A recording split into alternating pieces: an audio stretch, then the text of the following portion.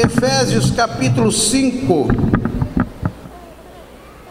versículos 15 ao 21. Efésios 5, 15 ao 21. Para quem tem a Bíblia do culto, fica fácil, página 269. Quem não tem, acho bom você adquirir. Porque se você não está com a Bíblia do culto, você está com a Bíblia errada. Porque aqui no Ministério de Madureira, Assembleia de Deus, nós usamos esta Bíblia, a Bíblia do culto. Portanto, vede prudentemente como andais,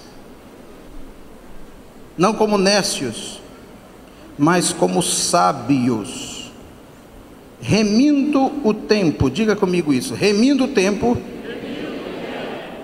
eu continuo, remindo o tempo por quantos dias são maus, pelo que não sejais insensatos, mas entendei qual seja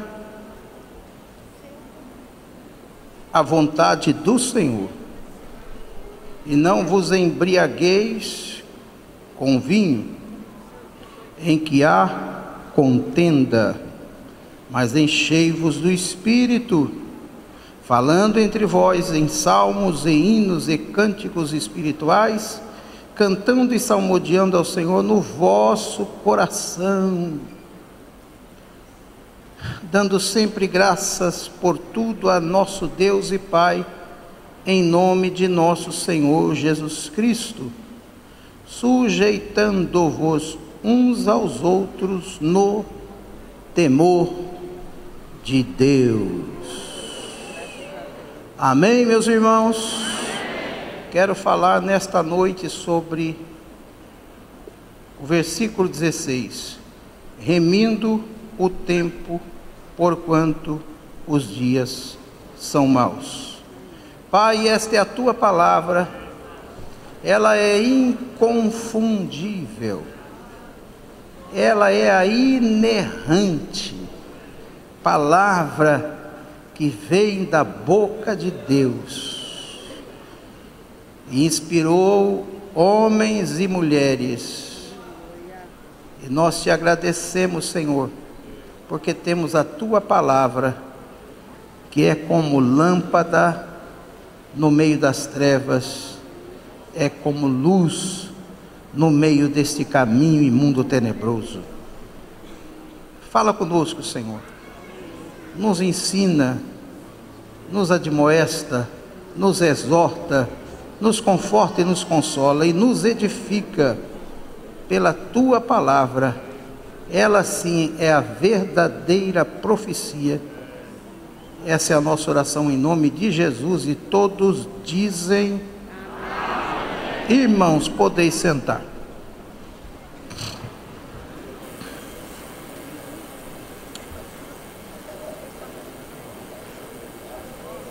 É,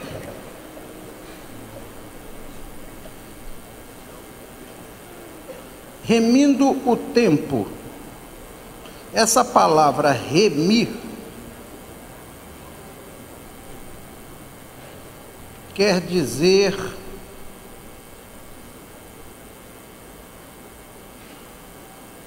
otimizando.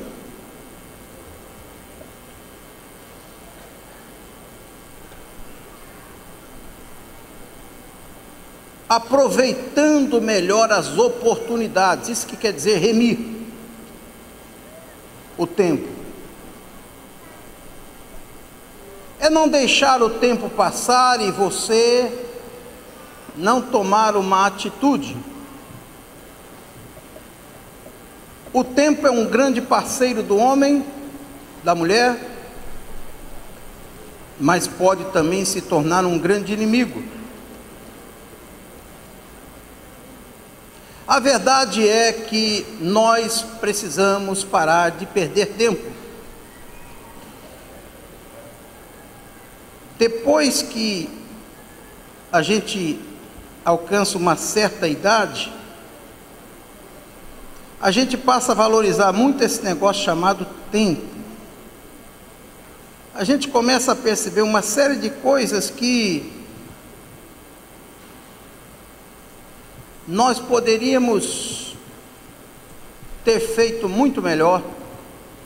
Muita coisa que nós fizemos e hoje nos arrependemos. Mas tem muita gente que se arrepende de coisas que fez e que está fazendo e que possivelmente não terá tempo para corrigir. Por isso que o apóstolo Paulo diz aqui, remindo o tempo, porque os dias são maus, ou porquanto os dias são maus. É muito importante que a gente entenda que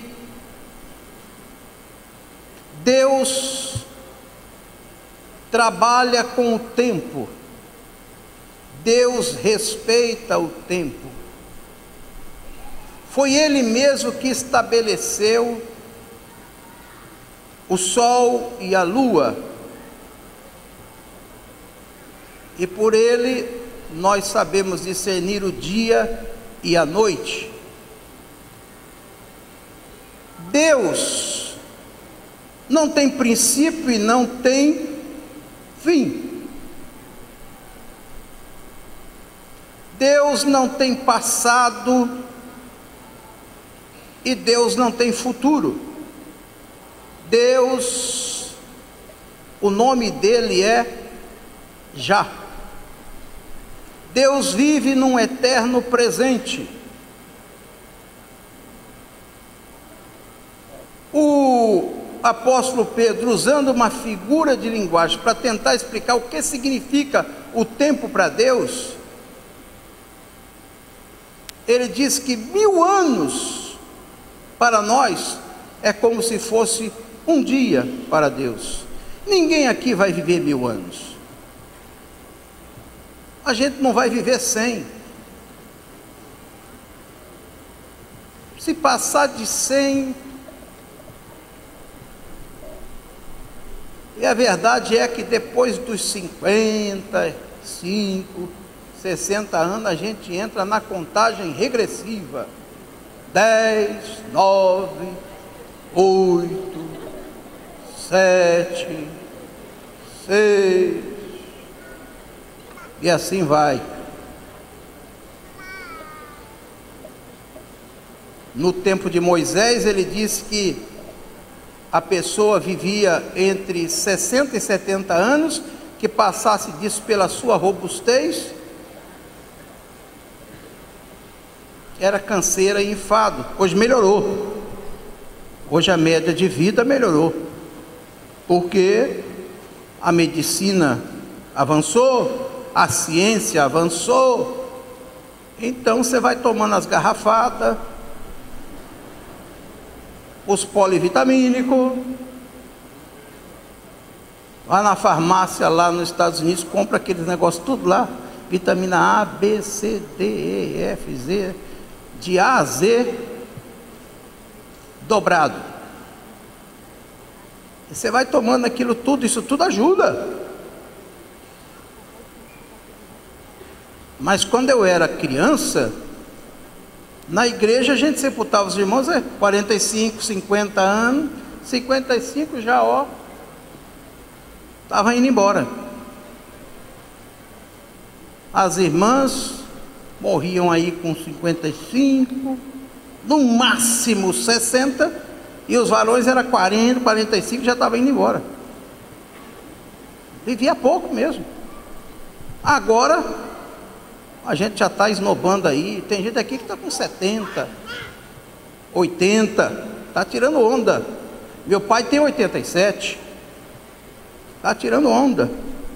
O Dirceu tem mais um ano esse, essa semana. Não vou falar a idade dele, não. quantos anos? 73. Fica em pé aí, Dirceu. Olha, esguiozinho, limpinho, não tem um cabelinho branco.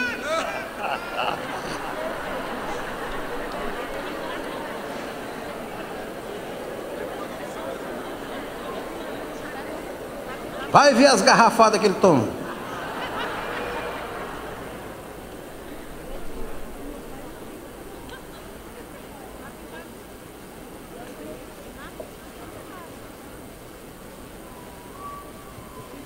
remindo o tempo. Mas Deus se condicionou.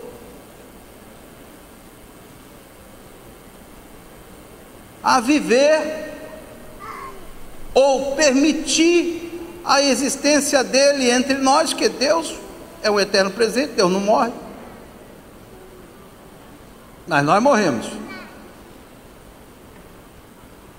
Deus se permitiu, nesses dias que para Ele é como um dia,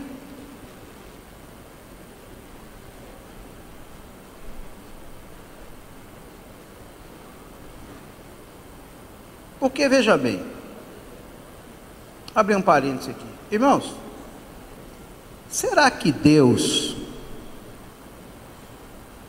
precisava criar o um mundo em sete dias, seis dias. Deus não podia falar assim, ó, haja tudo.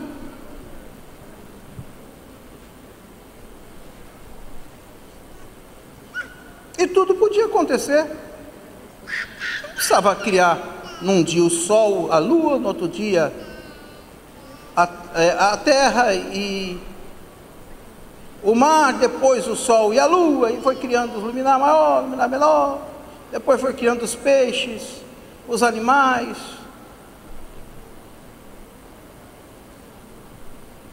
Se tudo já estava no projeto de Deus, para Deus não tem nada impossível, para que ele demorou seis dias?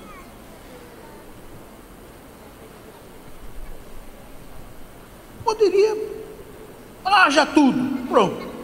Estava tudo no coração dele, o projeto já estava pronto, tudo foi feito pelo poder da Sua palavra, nada do que foi feito, diz a Bíblia, se fez. Todas as coisas foram criadas por Ele, para Ele, então, e só para Ele tem que ser dado a glória, a honra, o poder e o louvor. Mas não, No primeiro dia, ele criou o céu e a terra. E terminou-se o primeiro dia, Deus deu tempo. No outro dia, ele levantou e disse: Hoje eu vou criar o sol e a lua. Terminou o segundo dia, aí no terceiro dia, e assim foi.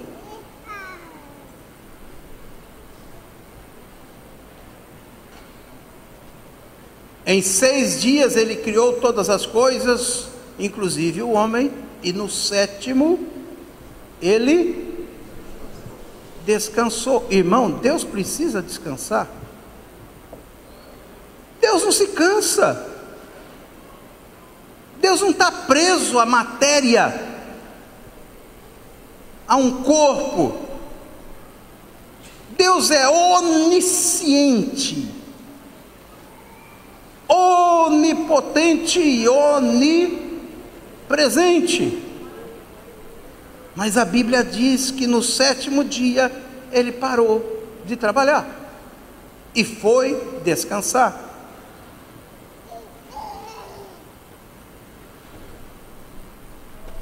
E tem gente que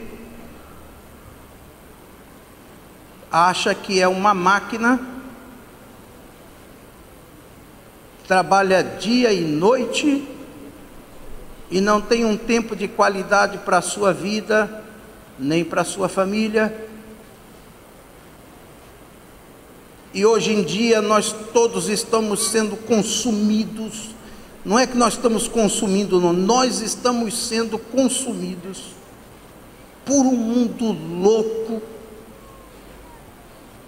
Tudo gira muito rápido, são milhares e milhares de informações que você recebe todo dia, seja pela audição, seja pela visão, seja pelo olfato, seja pela palavra.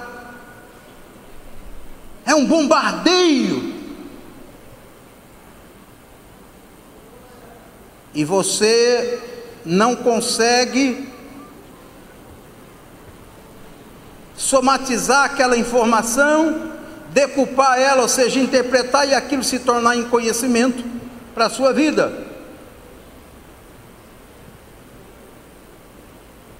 E o que acontece? Isso gera dentro das pessoas uma ansiedade louca.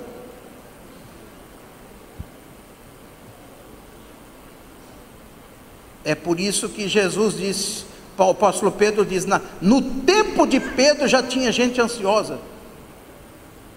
Ele diz: lançando sobre ele toda a vossa ansiedade, porque ele tem cuidado de vós. Mas no tempo de Paulo não tinha, ou de Pedro, ou dos apóstolos, não tinha essa esse bombardeio de informações que nós recebemos hoje.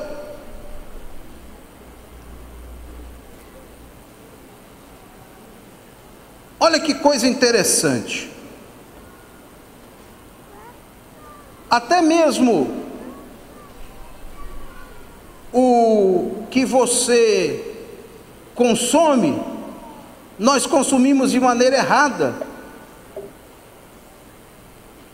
Nós todos estamos aí escravos de um mercado, de um mundo capitalista louco.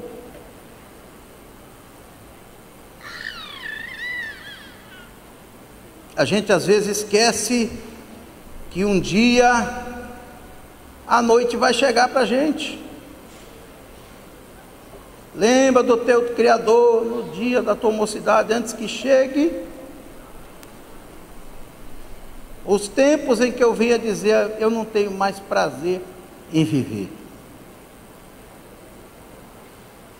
As vistas falham, o ouvido já falha também, o coração já vai intercalando, a coluna já não é mais a mesma. E a gente vai, quando você pensar, sem querer, você está arrastando os pés. E arrastando os pés é dali para a sepultura.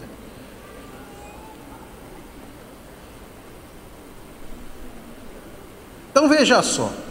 Por exemplo, Olha como a gente usa mal os recursos que Deus nos dá.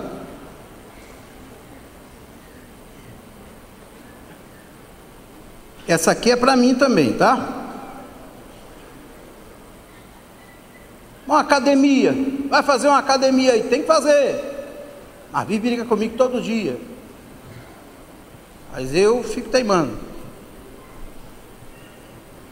Se ela não tivesse aqui, eu não ia falar. Mas ela está aqui, então eu tenho que falar isso antes, que é para. Lá você paga uma inscrição de 60, 100 reais, seja o que for. Aí você olha assim, vou não que é caro. Mas você vai comprar uma pizza, paga 60, 70, 80 reais. Aí você diz, está barato.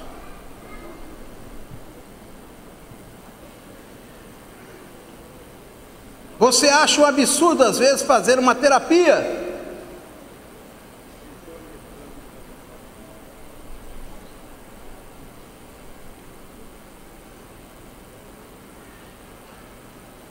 Por exemplo, uma outra coisa, você pagar num curso para você ser um melhor profissional, vamos dizer que você pague 5 mil reais, é dinheiro demais, é caro demais. Mas um iPhone novinho, você paga 5 mil e diz, está barato.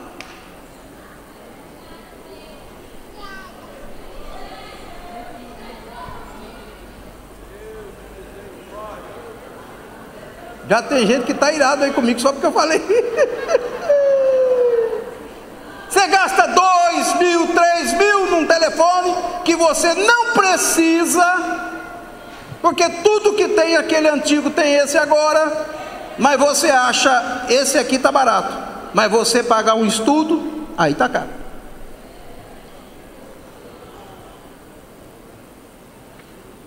Por exemplo, você tirar diariamente 60 minutos, uma hora, para uma caminhada, uma atividade esportiva, você diz: não tenho tempo para isso não. Não, então vamos tirar 60 minutos dia para a leitura da Bíblia. Deus me livre. Mas 60 minutos no celular você agarrado, vendo o zap, é pouco tempo.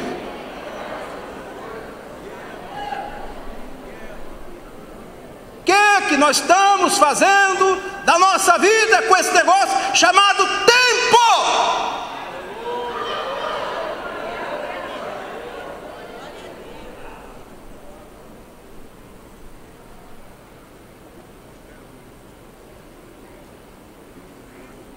Remindo o tempo.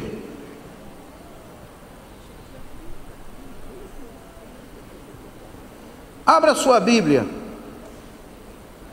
no livro de Eclesiastes, capítulo 3, do versículo 1 ao 15. Irmão, coloca aí na tela, por favor. Os irmãos que acharam a Bíblia, é bom mexer na Bíblia porque você não desacostuma.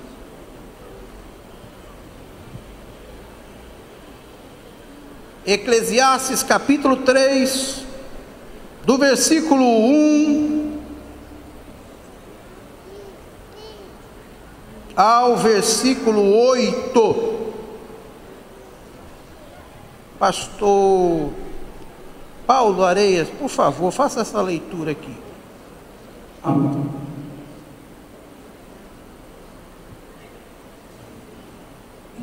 tem seu tempo determinado. E há tempo para todo propósito debaixo do céu. Há tempo de nascer tempo de morrer tempo de plantar e tempo de arrancar o que se plantou, tempo de matar e tempo de curar, tempo de derribar e tempo de edificar, tempo de chorar e tempo de rir, tempo de plantear e tempo de saltar, tempo de espalhar pedras e tempo de ajuntar pedras tempo de abraçar e tempo de afastar-se de abraçar, tempo de buscar e tempo de perder tempo, e tempo de perder, tempo de guardar e tempo de deixar fora, tempo de rasgar e tempo de coser, tempo de estar calado e tempo de falar, tempo de amar e tempo de aborrecer tempo de guerra e tempo de paz.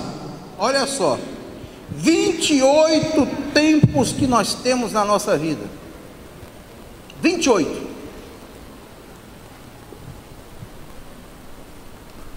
Primeiro a Bíblia diz: tudo tem o seu tempo determinado. E há tempo para todo propósito, desígnio, desejo debaixo do céu. Diga assim comigo: nascer, morrer, plantar, colher, matar, ferir, curar, derrubar, levantar, chorar, rir, prantear, saltar espalhar, ajuntar, abraçar, deixar de abraçar, buscar, perder, guardar, jogar fora, rasgar, coser, estar calado, falar, amar, aborrecer, guerrear e ter paz.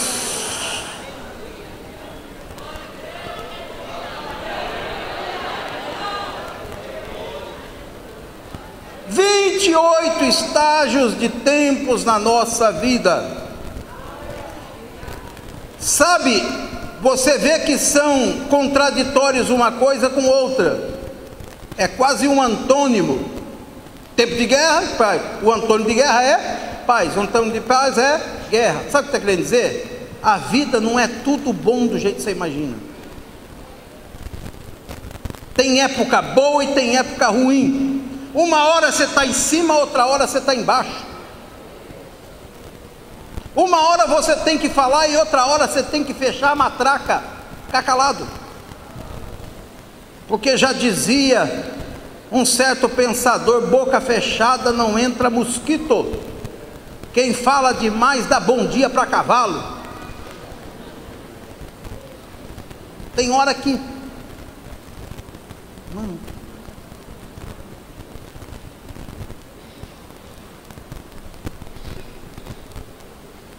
Sabe por que os dias adversos, as adversidades vêm na nossa vida? Para quando chegar a época da bonança, a gente valorizar a bonança.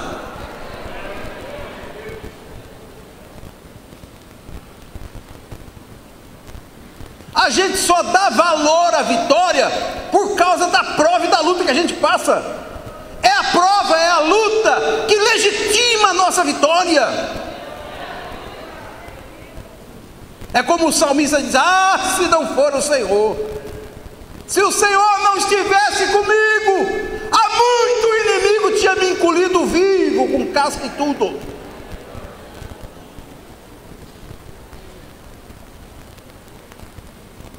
Mil cairão ao teu lado, dez mil à tua direita, mas você, mas do lado está pegando fogo, você está no meio da guerra, no meio da confusão quebrando para todo lado, a coisa está ruim. Mas Deus diz: Você está debaixo das minhas asas.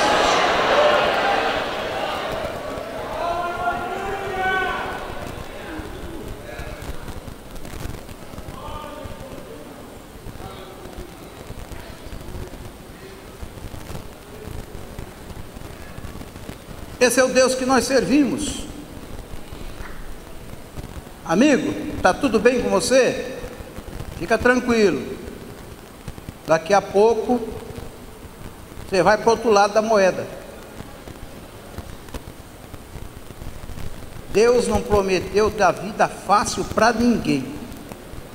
Ele prometeu estar conosco todos os dias, até a consumação dos séculos. No dia bom ele vai estar conosco. Ele falou: Eu vou estar com você. Eu não estou sentindo a presença dele, isso não é problema nenhum. Você pode não sentir a presença dele, mas ele está com você.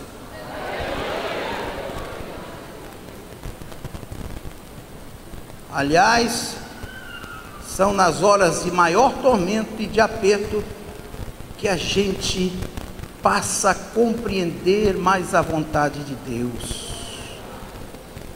A provação é como um fogo que depura o ouro. Andando eu no meio da angústia, tu me revivificarás, estenderás a tua mão e a tua destra me sustentará. Salmo de 138, versículo 5 e o versículo 6. Esta mão invisível. Você chegou, quem sabe, aqui, ou esta semana foi uma semana terrível para você. Você está se arrastando aí. Mas esta mão está te segurando. Porque se ela soltar, eu e você viramos pó.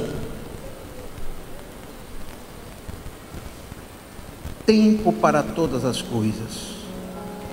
Tempo para todas as coisas. Tempo para todas as coisas.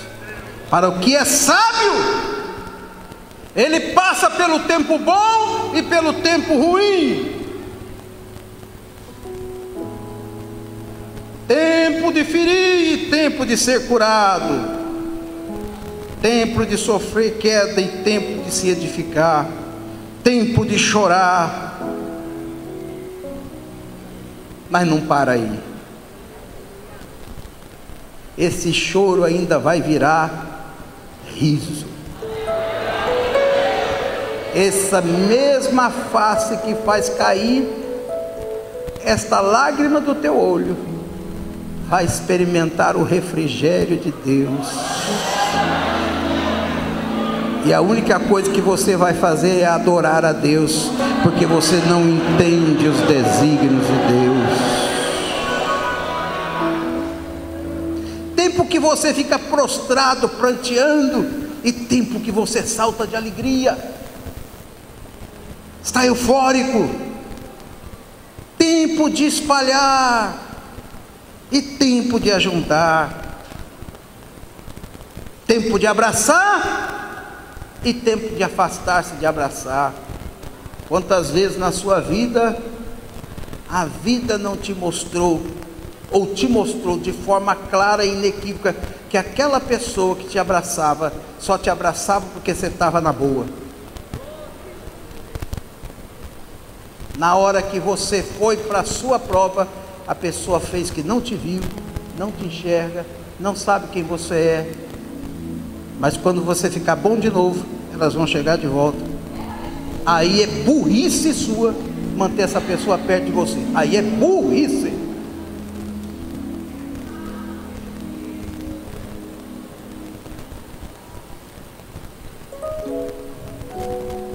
Você pode ser 5 mil amigos no Facebook. E às vezes você tem um amigo do seu lado você não dá valor a ele, você dá aqueles amigos ali que quando você estiver no hospital, nenhum deles vai te ver e nem orar por você. Alguns vão ainda dizer: foi a mão de Deus.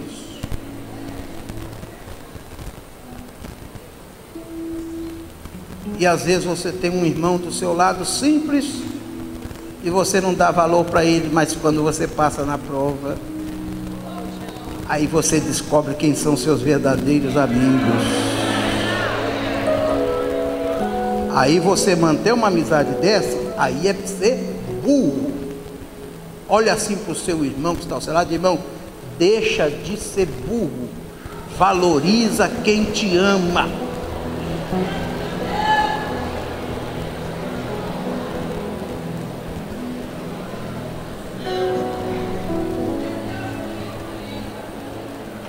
Glória a Deus. Glória a Deus. Tem hora que a gente abraça e tem hora que a gente diz, amigo, sai da minha frente, eu preciso passar.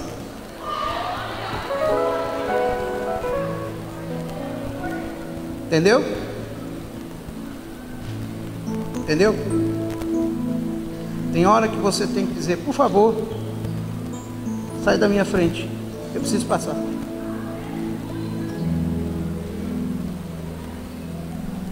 Tempo de buscar, tempo de perder. Não é toda que você vai ganhar, meu irmão. Você vai ter que experimentar esse gosto amargo da derrota, porque ela vai te forjar um guerreiro muito melhor. É quando você perde que você vai buscar a Deus. É quando você perde que você faz reflexão assim: o que que aconteceu comigo? Por que que eu não ganhei? Meu pai tinha uma maneira de chamar a gente a atenção. Era terrível. Lá em casa quem batia era minha mãe. Minha mãe batia muito. Pensa numa profeta. Ela profetizava com a cinta ou com um fio de máquina Singer. O nome do Pai, do Filho e do Espírito Santo recebe e o pau quebrava. E quando a máquina, se não está no canto, tivesse uma tigela, um copo, o que tivesse por ali mesmo já vazava. Meu pai nunca bateu. Meu pai chamava para conversar. Moço, desce ali que eu quero falar com o senhor. Descia, senta aí. olhava bem no olho da gente e dizia: Rapaz, o que, que você está fazendo da sua vida? O que, que você está fazendo da sua vida? Onde é que você pensa que você vai? Ah, meu irmão. A gente saía dali. Não vou dizer que era pior do que um tomar uma surra, não, mas era igual. É muito duro. Minha pergunta para você hoje é essa: O que, que você está fazendo da sua vida? Você está reclamando? Mas o que, que você está fazendo para virar o jogo? O não você já tem como resposta. O não você já tem como resposta. Tudo diz não vai dar, não vai ser, não vai, não vai. O não você já tem. Mas se você fizer alguma coisa, esse não pode virar assim, mais ou menos. Mas se você fizer mais alguma coisa, ó, oh, acho que vai dar. Mas se você continuar lutando daqui a pouco, você vai dizer, virei o jogo. Agora você ficar parado, ou então continuar na trajetória errada, gente que não te coloca para cima, gente que não te abençoa, gente que não quer te ver a tua alegria, gente que tem inveja de você, sai perto dessa pessoa. Sai de perto, mas é meu parente, larga para lá. Faz que nem Abraão e Ló. Abraão disse: para onde é que você for? Você vai para a direita, eu vou para a esquerda, você vai para a esquerda, eu vou. Pronto. Tem hora que a gente tem que fazer isso. É uma questão de sobrevivência.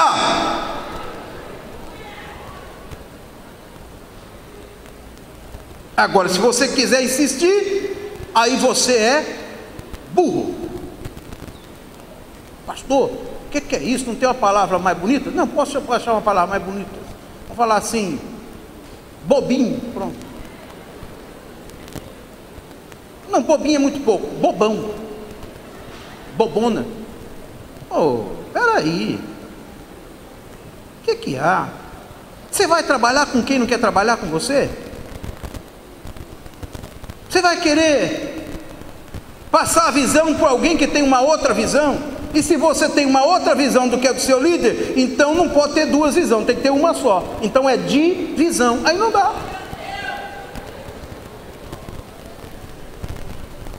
Não dá.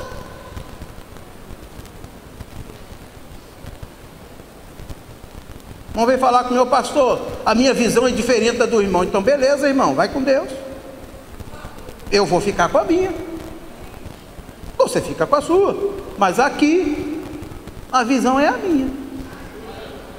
E a minha é esse aqui, arrozinho com feijão mesmo, a igreja tudo claro. É esse culto nosso aqui. Nós não vamos mudar não. É esse batidão aqui, ó. Assembleia de Deus não é igreja de show, não é igreja de iê, de blá blá blá. Igreja, Assembleia de Deus, não é igreja de você vir aqui e encontrar um descanso, ou você participar de uma corrente, não, Assembleia de Deus é esse batidão aqui, ó. Nós abrimos esse culto em teu nome, ó Jesus Cristo. A graça do nosso Senhor Jesus Cristo, o amor de Deus e vão com Deus.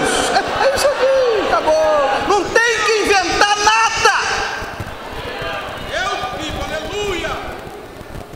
Nosso arrozinho com feijão é esse aqui. É assim nós vamos tocando.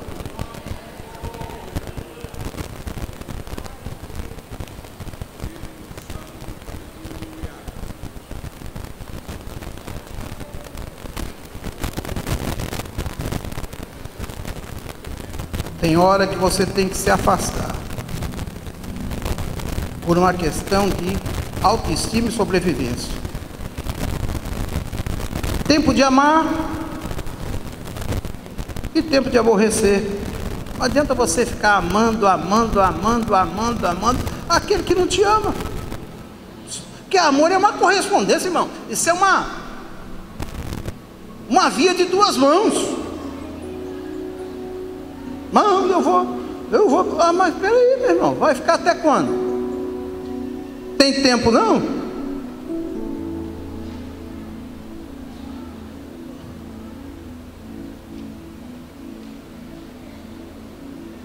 Até Deus disse assim, está na palavra: Eu amo os que me amam. E os que de madrugada me buscam, ali é sabedoria, sabedoria é Deus. Até Deus é desse jeito.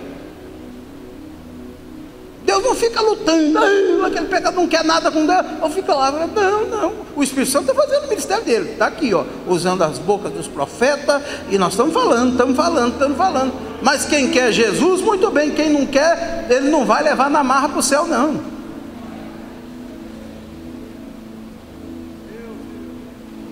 Tempo de amar e tempo de aborrecer, tempo de guerrear e tempo de paz. Deixa eu terminar. Versículo 11, coloca aí na tela, 3 e 11, de Eclesiastes. Vamos ler juntos o que está lá? Vamos lá, 1, 2, 3. Tudo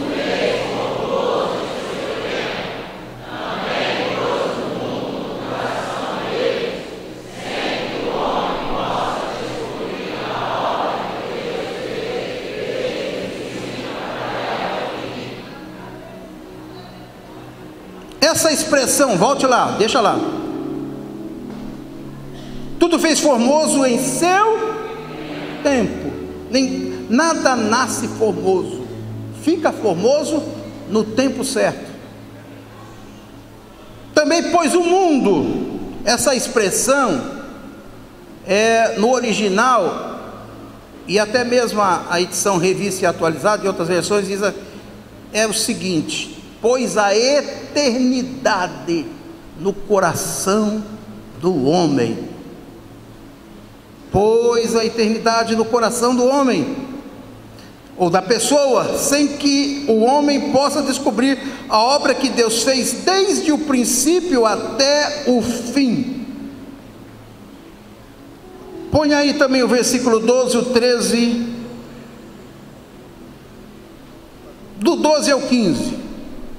Vamos ler o 12, vamos lá, todos? Vamos lá. Já tenho. Não, não, não, não, não, não, não, não. vamos ler todo mundo. Está aí, ó, na tela aí, na tua frente. Vamos lá, um, dois, três.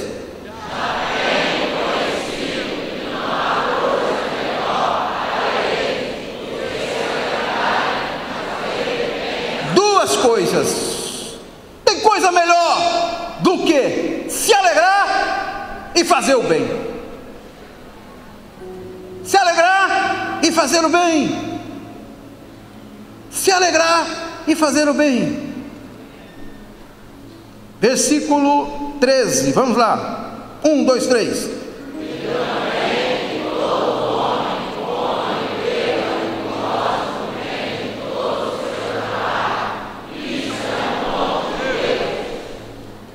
Coma, beba e desfrute resultado do seu trabalho. Irmãos, quanta gente que vive, mas vive uma vida de avareza, ele vai morrer e não vai desfrutar daquilo que Deus deu para ele de condição para ele poder viver satisfatoriamente. Trabalhou, trabalhou a vida inteira não desfrutou. Eu conversando há poucos dias com o Dr. Paulo, o Dr. Paulo é um médico muito conceituado, ele é membro desta igreja e ele trabalhou muitos anos nas UTIs de vários hospitais. Ele disse, pastor, isso é uma coisa terrível. Eu já atendi pessoas muito importantes, outras muito ricas, e quando eles estão na UTI do hospital e percebem que as coisas estão ruins para o lado dele, eles gritam comigo e diz: Doutor, por favor, não deixa eu morrer. A vida toda eu só fiz trabalhar. Me tira daqui para eu desfrutar a vida. E ele, às vezes, dizia as coisas que os médicos dizem: não, nós estamos lutando, vai dar certo. A maioria das vezes as pessoas tombavam e ele ficava com aquele grito e aquela voz dizendo: Me tira daqui! Eu quero viver! Tarde, tarde. Comer, beber e desfrutar de todo bem. Isso a Bíblia diz: quem consegue isso, consegue um presente, uma dádiva, entendeu o significado da vida.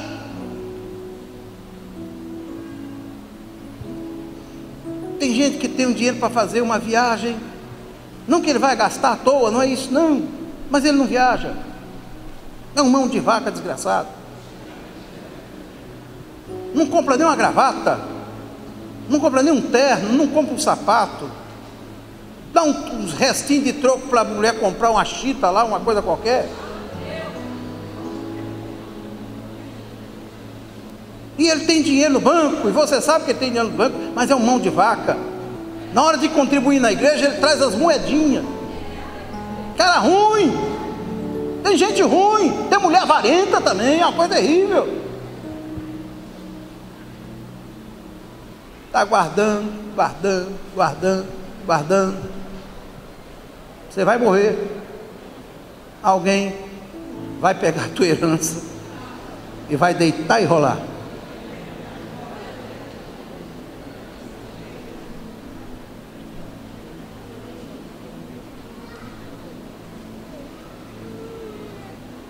É mais ou menos assim: pai rico, filho nobre, neto pobre. Pai rico, filho nobre, neto pobre. Irmão, aproveita esse final de ano, dá uma escapadinha com a patroa Vai lá tem um tempo de qualidade. Pastor, não tem dinheiro para ir de avião. Vai de ônibus. Não, não tem dinheiro de ônibus. Vai de trem. Não tem dinheiro para ir de trem. Vai de jegue.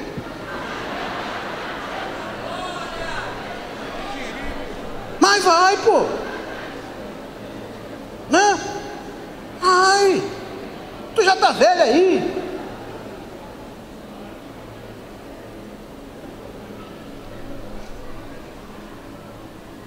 Tem que aproveitar. Eu fui há, meses atrás, muitos meses atrás, pastor reverendo Isaías de Souza Maciel.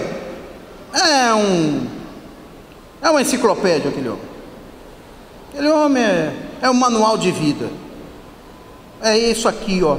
Amor e fez o bem a vida toda se alegrou e fez o bem. Eu nunca vi o reverendo Isaías triste. Sempre está alegre. Até quando está em luta, ele está alegre. E fazendo bem, fazendo bem, fazendo bem, fazendo bem. 90 e poucos anos, ainda continua fazendo bem. São centenas de crianças que ele toma conta, são dezenas de é, velhinhos que ele toma conta e com toda energia, e ele não manda e nem vai para procuração, não ele levanta e vai lá para o escritóriozinho dele, atende todo mundo, fala no Facebook. E um dia eu fui lá no escritório dele, ele disse: Vem cá para você almoçar comigo. Eu fui lá, pensei que era algum problema para tratar. A gente sempre imagina o ruim, né? Falou: Não, te chamei só para você almoçar comigo mesmo. Eu falei: Mas, é, meu filho, descansa. Eu só preciso almoçar mesmo comigo. Aí passou, o reverendo Guilherme Cunha estava lá, vamos lá. Aí me levou num restaurante chamado, eu falei hoje cedo isso lá, em Duque de Caxias, um restaurante chamado Alcaparras, lá no Flamengo. Não é um restaurante chique, não, restaurantezinho simples, mas é normal. Mas levou a gente lá, quando eu entrei, eu falei, isso aqui é. Isso aqui é sabedoria. Esses homens vêm comer aqui. Ele disse: Eu, vou, eu como há décadas aqui, almoço só com os meus amigos aqui. Aí sentei lá para almoçar.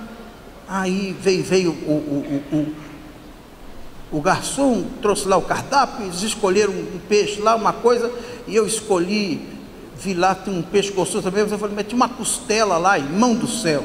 Sangue Jesus tem poder. Pensa numa costela, eu nunca comi um negócio aqui.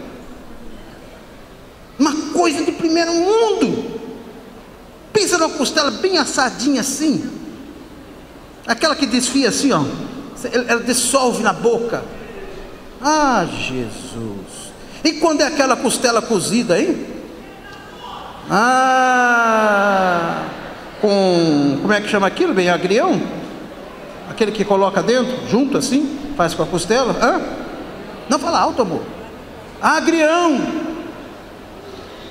E aí, uma batata junto, cozinhando. Essa é a cozida. Aí tira um, um pouco do molho e faz um pirão. Com pirão ou sem pirão aí, irmão? Ah, mas é bom demais, gente. Pelo amor de Deus.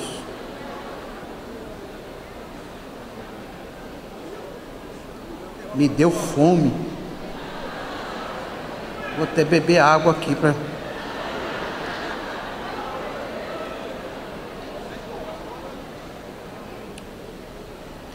Aí chegou aquela coisa, o negócio veio cheirando de lá da cozinha. Já falei, Jesus, é hoje. Ele orou, nós comemos. Aí ele falou, olhou para mim assim e disse: E aí, Abner, está gostando da, da costela? Eu disse: Pastor, nunca comi coisa igual. Negócio maravilhoso. O nome do restaurante é Alcaparras. Vai lá com a sua mulher. Separa aí uns 200, 300 reais. Ela vai gastar lá. Isso aí não tem conversa. Aí ele perguntou: Está gostando?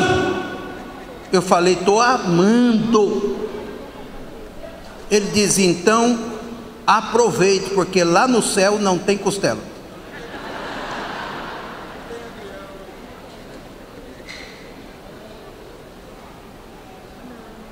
Essa vida é dura, mas é boa.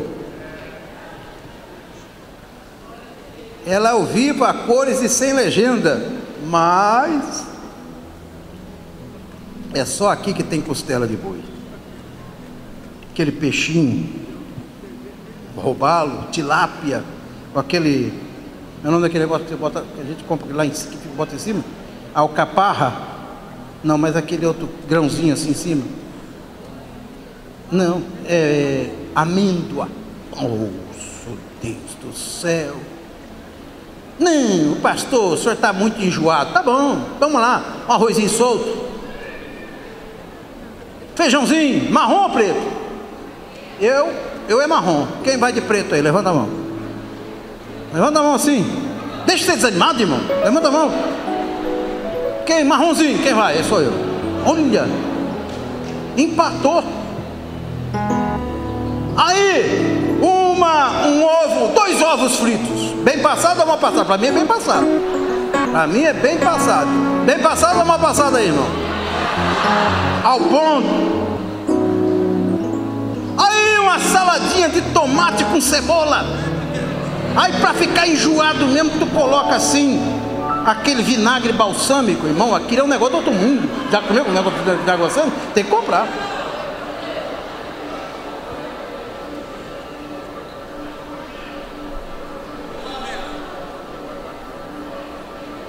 No céu não tem ovo, tomate e cebola, só tem aqui. Quem está com vontade de ir para o céu hoje aí? Levanta a mão bem alto. Eu não.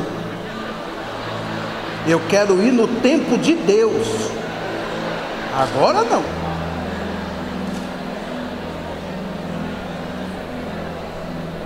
Eu quero ir no tempo de Deus. Ou nada. Até porque se você está pensando que você vai para o céu, você não vai para o céu nada. Você vai para o andar de baixo. É um lugar chamado paraíso. No céu vai entrar todo mundo junto.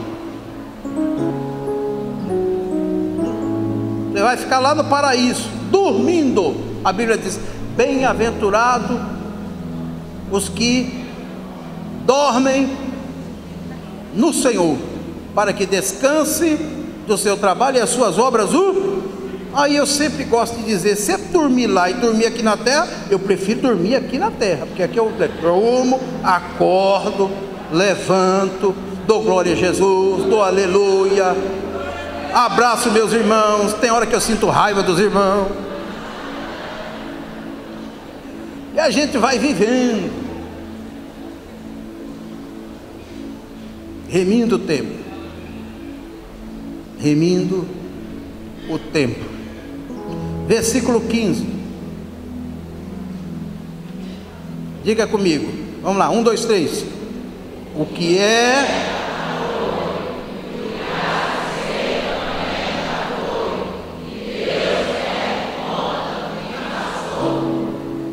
Olha que coisa interessante isso aqui.